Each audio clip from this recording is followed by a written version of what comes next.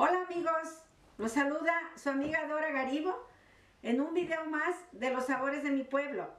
En esta ocasión quiero compartir con ustedes una deliciosa receta de caldo de pollo.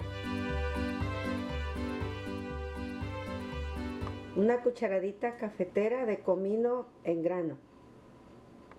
Dos cucharaditas cafeteras de consomé de pollo. Cuatro ajos. Dos cucharadas soperas de sal de grano, una cucharadita cafetera de orégano, esos pedacitos de laurel y los ajos sueltos vienen siendo donde vamos a cocer la carne de pollo, las piezas de pollo en la olla, la mitad de una cebolla partida en cuatro partes, dos papas grandes, aquí ya las tengo peladas, tres zanahorias grandes que también aquí ya tengo sin, sin tecata y tres jitomates grandes también. Cuatro piernas grandes de pollo, dos alas, siete patitas de pollo y media libra de mollejas. Voy a colocar todas las piezas del pollo aquí en esta ollita y le vamos a poner la cebolla, la mitad de la sal, y los pedacitos de, laurel y los ajos que tenía aparte que anteriormente les mostré y los voy a poner a cocer. Bueno, pues aquí ya están todas las piezas de pollo dentro de la olla. Eh, el agua suficiente para cubrirlas y sus ingredientes.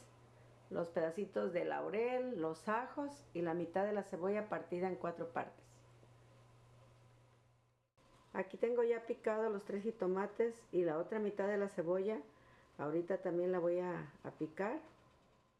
Las dos papas picadas, aquí las estoy dejando en el agua para que se conserven de su mismo color. Y las tres zanahorias cortadas en bastoncitos, aquí las tengo ya listas. En este momento voy a poner las zanahorias dentro de la olla. Dejo que hirva unos 10 minutos o menos y ya inmediatamente pongo las papas. Enseguida voy a moler en el molcajete los cominos enteros, los cuatro ajos con un poco de la sal que ya tenía.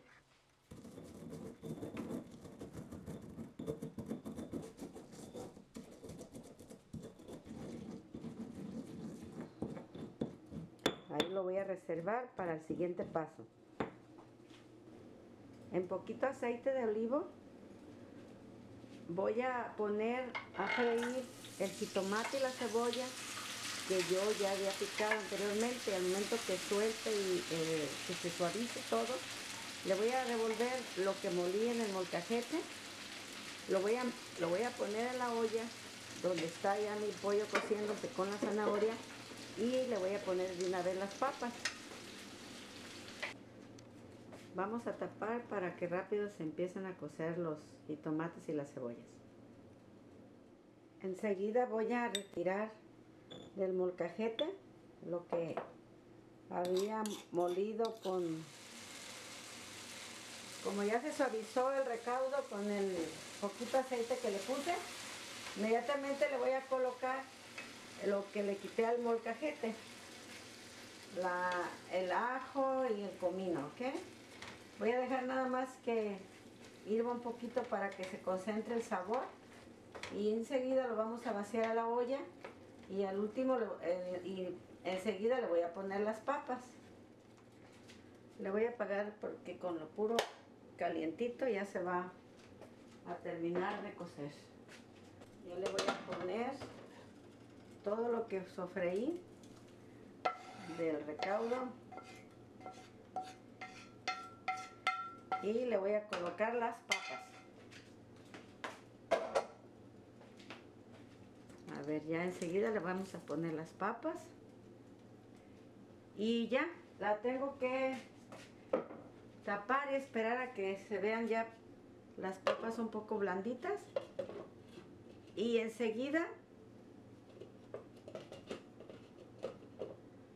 enseguida le voy a poner en este momento que hirva el que hirva el pollo le vamos a poner las dos cucharaditas de consomé le vamos a poner el consomé de pollo.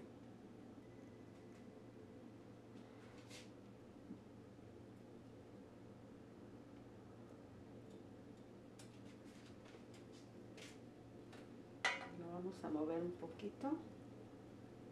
Mm, qué rico. Muy rico está esto. En este momento le voy a poner ya el orégano. Ya, ya chequeé las, ya, ya toqué las piezas de pollo, están bien suavecitas. Las verduras, la zanahoria ya está bien cocidita. En este momento, en este momento le voy a poner el orégano y la voy a apagar y lo voy a dejar tapadito así ya listo para enseguida preparar nuestros platos y probar este rico caldo de pollo. Le voy a poner unos ajitos para que se aromice el, para que el aceite agarre, se impregne del sabor del ajo. Arroz.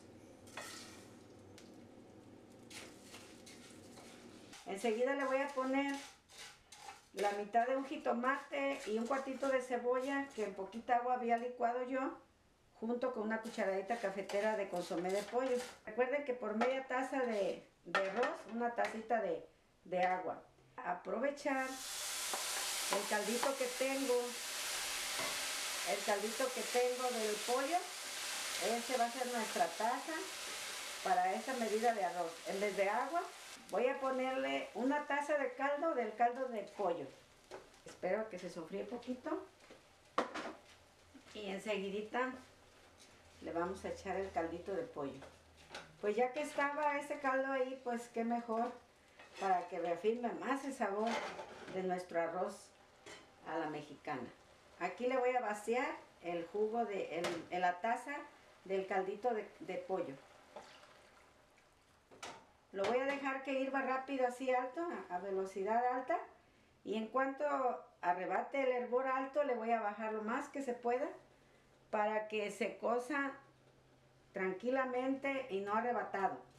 Y nuestro, miren, ya empezó a, romper el hervor. Ya nomás lo voy a, a tapar y ahí lo voy a dejar. Aquí finalmente así quedó nuestro arroz.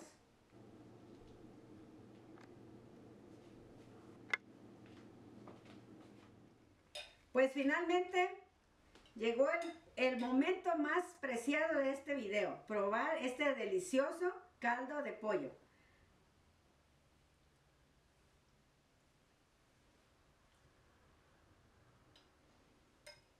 Saben que está delicioso, muy muy rico. Para dar el toque final de este delicioso caldo de pollo, nos lo vamos a bajar con un poquito vino rosado. ¿Para qué? Para que haga una muy buena digestión. Y con esto me despido de ustedes, no sin antes darles las gracias por haberme acompañado hasta el final de este video de una deliciosa receta más de los sabores de mi pueblo de su amiga Dora Garibo. Espero les haya gustado, traté de hacerlo lo más cortito posible para que ustedes no se me desesperaran. Me dio mucho gusto saludarlos. Les pido que comenten, denle like. Recuerden que los comentarios me ayudan a crecer y a superarme un poquito más y quitar errores que posiblemente yo no los noto. Hasta luego y que Dios me los bendiga. Adiós.